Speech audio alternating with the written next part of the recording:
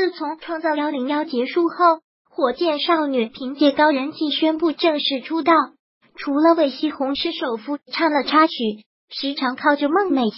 吴宣仪退出风波，杨超越匪夷所思的行为维系着市场关注度外，仿佛并没有什么关注点了。最近就连他们的导师黄子韬都感叹玩够了的回炉深造了。